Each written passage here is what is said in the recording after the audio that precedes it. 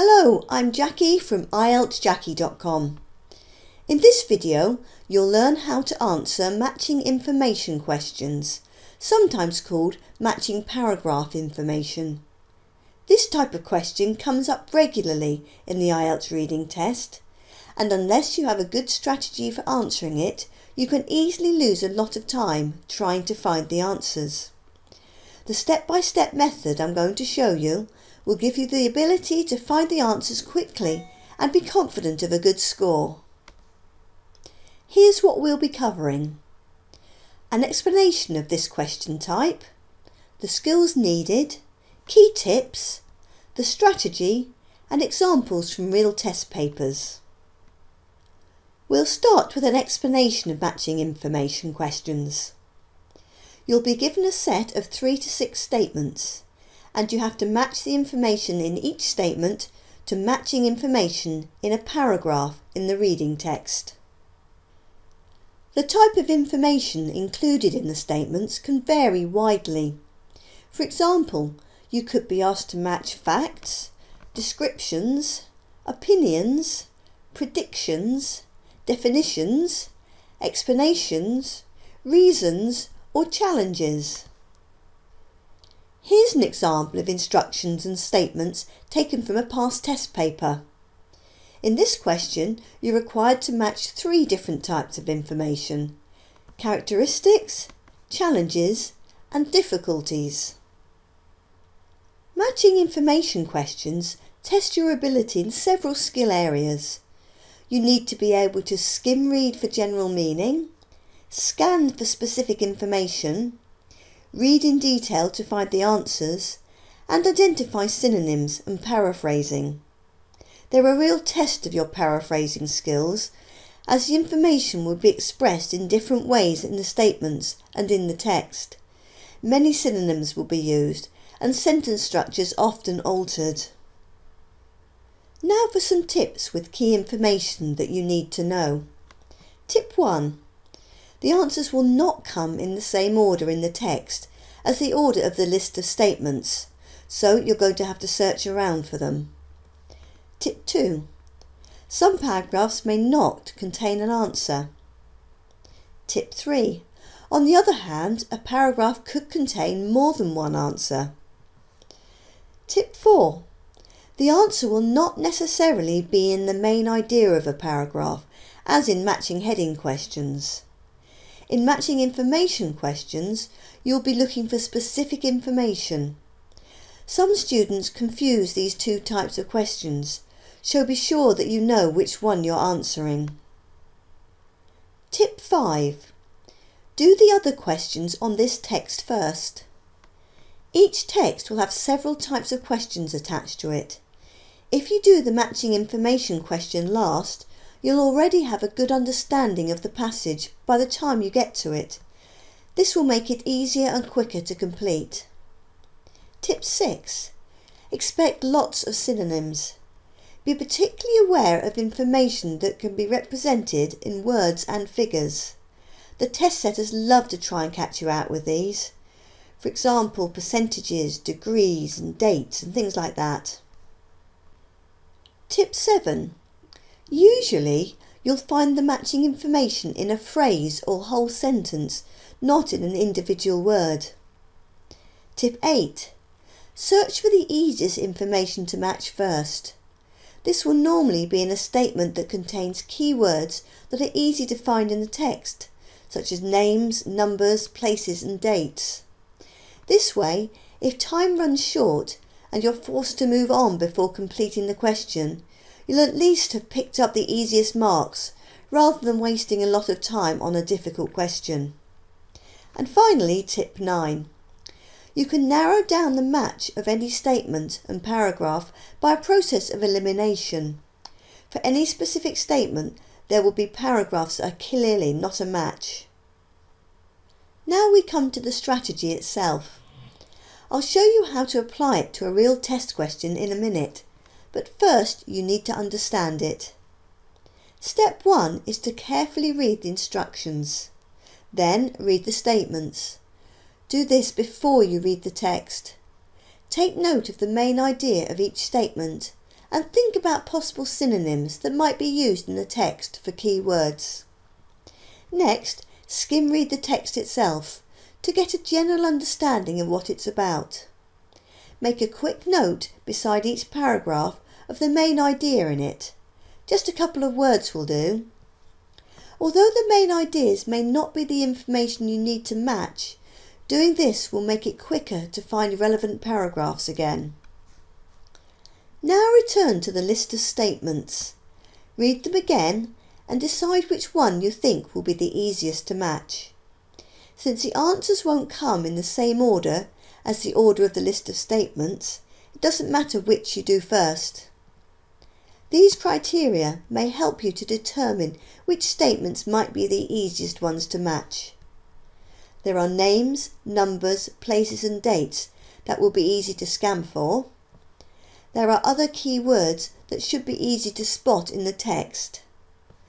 Notes you made beside a paragraph of its main idea match information in one of the statements. I give a detailed explanation of this step of the strategy in the sample test. Once you've selected which statement you're going to start with, scan the text for key words.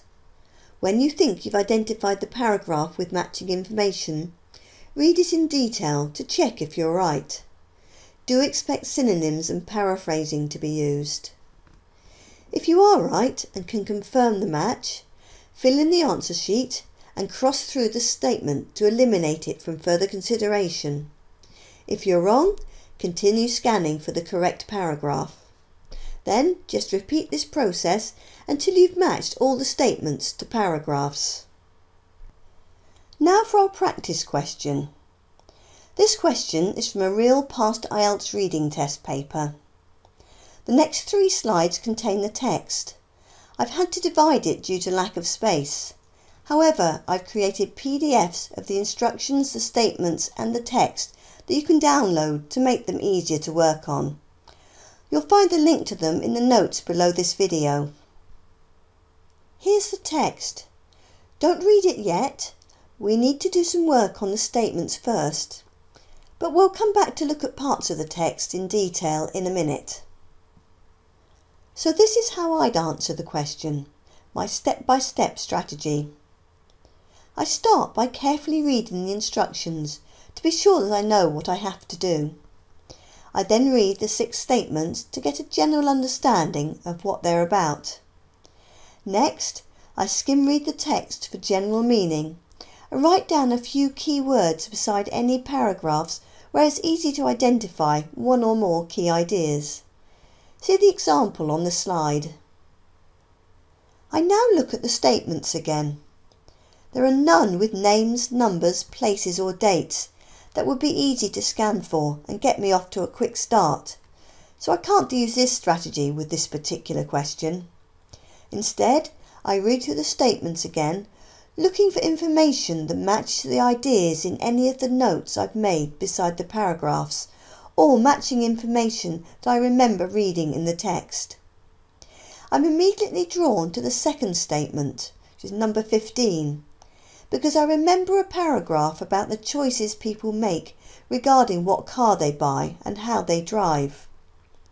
I wrote people's choice, what car, stroke, how drive, beside the paragraph and this is a close enough idea to driving habits in the statement for me to think that this could be the right paragraph for a match. Because of my notes, I'm able to find the paragraph again quickly, and I now read it in detail to see if the information really does match. I identify the following sentence as containing the information I need. But fuel consumption and exhaust emissions depend on which cars are preferred by customers and how they are driven. The information is a good match, so I fill in the answer, which is 15F. I cross through the statement and move on to another one. I decide to try and find a match for statement 17 next, which is the writer's prediction on future solutions. I choose this one because it's about the future so I expect the matching information to come near the end of the text. It's a bit of a gamble, but one I think it's worth taking to save time. I can leave it and come back to it later if I can't find the answer quickly. I also remember that I wrote notes relating to solutions next to two of the paragraphs, that was G and H, so this is a strong clue as to where the answer might be. I read paragraphs G and H in more detail. Paragraph G starts, Some argue, so it's about other people's opinions about possible future solutions. I skim read it to confirm that it doesn't change to talking about the writer's opinion part way through. It doesn't, so I move on to paragraph H. This begins, a more likely scenario. This is clearly expressing the writer's view or prediction about possible solutions. I quickly skim to check that it is the topic of the paragraph. It is, so the answer is 17H. I choose statement 18 to match next, the increasing use of motor vehicles. I select this one because of the word increasing. I guess that the text is likely to mention numbers or percentages to give information about the increase in the use of motor vehicles. This should be very easy to spot with a quick scan of the text. Going back to the text, my eyes are immediately drawn to the first paragraph, which contains lots of numbers. I also notice that I've noted the words more vehicles beside paragraph A, which could be a paraphrase of increasing use of motor vehicles. I start reading the paragraph in detail and find the information I need for the match in the very first sentence. The synonym, the number is rising, which is used instead of increasing, is another clue that the information matches. I don't waste time reading any further and mark the answer 18A. One of the challenges with matching information questions is that you need to search the whole text for the specific information you need. Don't waste more time than you have to in order to confirm the match of information. This will only waste time and isn't usually necessary. I now have three statements left to match. I've crossed out the ones I've already matched as I've gone along, so it's easy to see which ones are left to do. I read the three statements and decide which has a key word that will be easy to find in the text. I choose 16, the relative merits of cars and public transport because I believe it should be easy to spot types of public transport, which will lead me to the answer. I think of some specific types of transport to scan for. The most likely are bus and train. I spot bus in paragraph B, but a quick skim through of the text tells me that this section is not about public transport. I continue scanning. Paragraph E looks more hopeful. It contains several references to types of public transport. I read the statement again to be sure that I understand what it means. It mentions cars as well as public transport, and even if I didn't know what relative merit means, I could probably guess that cars and public transport were being compared in some way. Reading paragraph E in detail, I find a sentence that contains the words cars as well as trains and buses. So I'm sure the answer will be here. It reads, Yet cars easily surpass trains and buses as a flexible and convenient mode of personal transport. The key word I need to understand in this sentence is surpass, which means to be better than. So cars and types of public transport are indeed being compared in this sentence. Again, if you didn't understand this word, you might still be able to guess the main idea of the sentence from the rest of the vocabulary. However, you can see how important it is to have a good knowledge of synonyms. I'm confident that I have the correct match of information and mark the answer 16E. I choose statement 14 to match next. A comparison of past and present transportation methods. This one is easy to match as there's only one paragraph that talks about past forms of transport and I made a note of it when I first skimmed the text. The answer is thus 14C. There is now just one statement left to match, which is 19, the impact of the car on city development. I haven't written a note beside any of the paragraphs that relate to this statement, so I'll need to scan the whole text for the match. Although I can't be sure that it will be in one of the paragraphs I've not yet used for an answer, I feel that this is a good place to start. First, I think of possible synonyms of city and development, such as urban and improvement. Then I scan paragraphs B, D and G for these. Paragraph B contains the word city, but not information about development. Paragraph D, on the other hand, contains both cities and urban. I can't see the word development or immediately spot any obvious synonyms, so I read in more detail to see how the statement might have been paraphrased. I identify the second sentence as containing the information I'm looking for. It reads, Adaptation to the motor car has involved adding ring roads, one-way systems and parking lots. This clearly refers to situations where cars have influenced or impacted development in cities. The final statement match is therefore 19D. I hope you found this strategy helpful. If you follow it step by step and use any little clues you can find as to the correct statement and paragraph match, you have every reason to do well in this type of IELTS reading question. The most important thing to do is to practice.